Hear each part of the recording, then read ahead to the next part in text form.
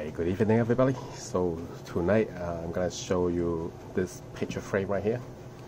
And the reason for this video is that uh, maybe one and a half year ago I make this video called uh, how to reuse a laptop screen with Raspberry Pi as a picture frame and I put part one in the video and uh, one and a half year later there's still no part two so people are like there are some comments on this saying hey uh, what happened to part two?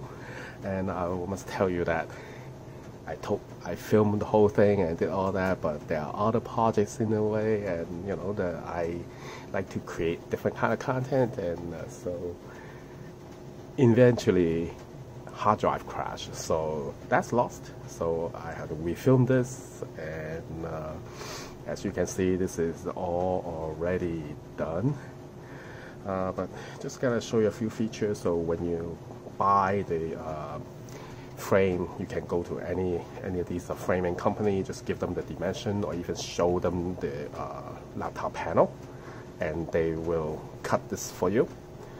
And uh, what you do is uh, you need to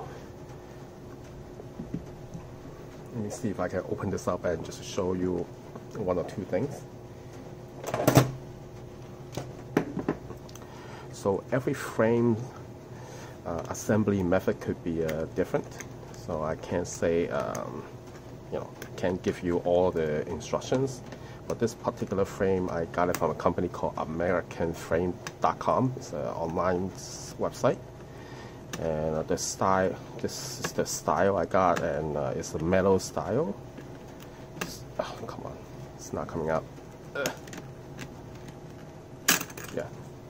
So they are held by these little spring clips, and also uh, these four brackets on the top when you get them, uh, they come disassembled, so you will have to, um,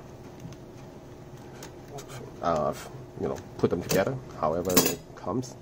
And so uh, here's a quick look on this. Uh, here's uh, the glass, the panel, and the foam backing. And you basically put the three pieces together and then slide them in. And also for the back um, foam backing, you want to cut some holes to let these cable out and then arrange them in whichever way that makes sense. Uh, this is the uh, LCD driver that I mentioned, and this is the uh, inverter to give you the backlight. And I decided to just tape the um, button board here for some for simplicity, and also this uh, IR receiver. It's not. Um, I really don't use it, but it's okay. So so once you slap them all together, just slide this back and close it up. It's not that hard. And like I said, every frame is different, so you if you get a different frame, you need to figure this out on your own. I hope you uh, I hope you get a, a, power cable when you buy the board. Sometimes uh, some listings don't come with one. And also power up the Raspberry Pi. I think this is the one, right? Yep. And yeah, let's put this back in. And for Raspberry Pi Zero, you're going to need one of these guys. So, uh, one of these USB adapters.